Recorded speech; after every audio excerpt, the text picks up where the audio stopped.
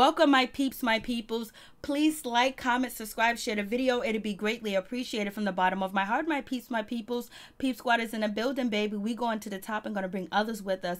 So let's get it popping. Basketball Wives will be returning to VH1 June 19th, which is a Wednesday. And I will be here for it and reviewing the show. So please check it out. Tami Roman has returned to Basketball Wives. And she said she wasn't going to return unless the money was right. So the money must be right. They must have cut that check. And so also we have Jennifer Williams. She she's returning. Hopefully, she keeps the same energy that she had last season when she accused Evelyn of being a neglectful mother down in Miami and she witnessed it herself.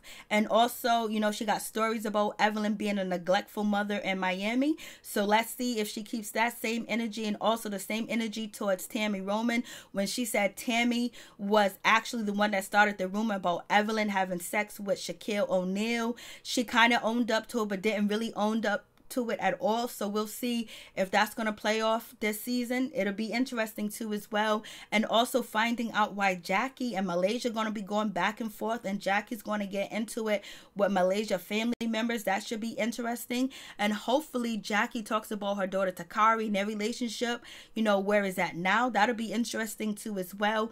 And also Cece getting engaged to Byron and basically Kristen being upset about it. And then on top of that, Byron does not like Kristen at all. He don't want to be bothered with her. So this is going to be crazy. I was like, OMG. And actually, is Tami going to keep up with her same energy about accusing, you know, Evelyn of blackballing her, sending negative emails to executives about Tami Roman. Is she gonna keep that same energy? And also accusing Evelyn of just being a liar too as well and faking her storyline with Carl Crawford that she knew that they were already broken up before she even started filming and was doing the IVF treatment. So let's see how that shit goes down. It's gonna be crazy. Like it's like I just hope everybody keep the same energy and actually these questions be answered. And then on top of that, they have a new basketball wife.